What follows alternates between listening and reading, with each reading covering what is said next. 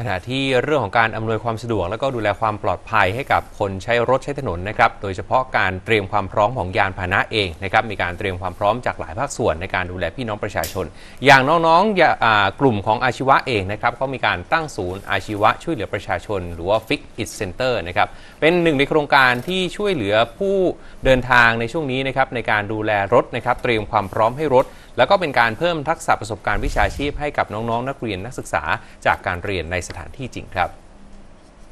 นายมงคลชัยสมอุดรนะครับ รองปลัดสำนักนายกรัฐมนตรีได้ลงพื้นที่ตรวจเยี่ยม ศูนย์อาชีวะช่วยเหลือประชาชนหรือว่า Fix It Center นะครับที่ร้อยเอ็ดซึ่งเป็นจุดที่นักศึกษาอาชีวะ และเจ้าหน้าที่ ให้บริการดูแลรถยนต์ รถจักรยานยนต์ ให้กับพี่น้องประชาชนที่เดินทางสัญจรในช่วงสงกรานต์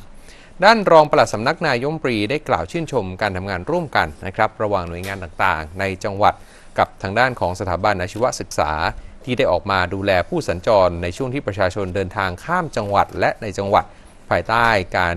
อ่าคำแนะนำนะครับจากผู้ที่มีความรู้ความเชี่ยวชาญ ถือว่าเป็นกำลังหลักสำคัญในการดูแลประชาชนระหว่างการเดินทางอย่างอบอุ่นนะครับ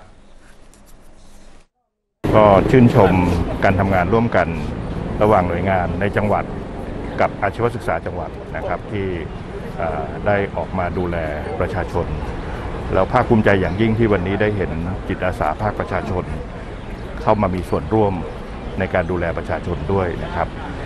ฟิอิเตอร์เนี่ยถือว่าเป็นงานสำคัญของอาชีวศึกษานะครับในการที่จะนำอ่านักศึกษาอาชีวะ หรือนักศึกษาในสายอาชีพเนี่ย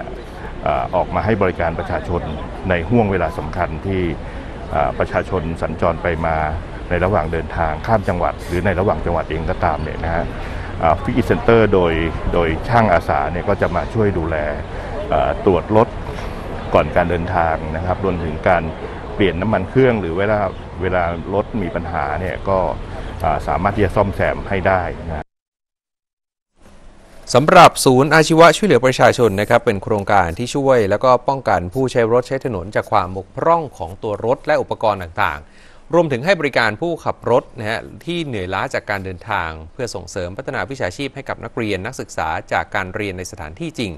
ซึ่งกิจกรรมที่ให้บริการตามศูนย์เนี่ยนะฮะก็มีตั้งแต่การตรวจเช็คลมยาง การเปลี่ยนถ่ายน้ำมันเครื่อง ไส้กรองอากาศทั้งของรถยนต์ แล้วก็รถมอเตอร์ไซค์ด้วยนะครับสำหรับศูนย์ที่จังหวัดร้อยเอ็ดเนี่ยอยู่ที่บริเวณปั๊มปตทตำบลหนองแวงอำเภอเมืองร้อยเอ็ดจะเปิดให้บริการไปจนถึงวันที่ 17 เมษายนนี้นะครับ